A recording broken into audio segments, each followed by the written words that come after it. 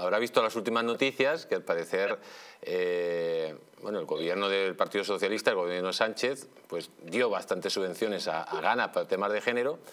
Y luego posteriormente fue la, primera dama, la señora Begoña Gómez, a pasar, eh, según dice la, carta del embajador de, Ghana, a pasar la gorra para, para intentar llegar a negocios con Ghana.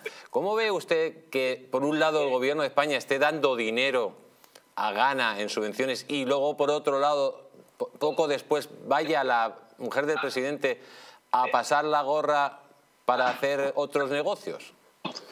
Pues sobre todo veo que, nadie da explicaciones. Es como el, como el tema de, de, la línea aérea, ¿no? que al final se sale la información, se dicen muchas cosas, pero no se es capaz de salir y explicar las cosas, porque si explica las cosas, pues igual alguien las acaba entendiendo, ¿no? Pero es que no sale ninguna explicación, por lo cual podemos especular todo lo que nos dé la gana y desde luego bonito no es, ¿no? Al final lo que te hace lógicamente es sospechar como lo otro, ¿no? Si tú te reúnes con una gente a unas horas eh, en unos sitios y resulta que luego esa compañía sale beneficiada, pues hombre, o te lo explican o si no, eh, lo normal es pues que pienses mal, ¿no? Que pienses mal y, que aciertes.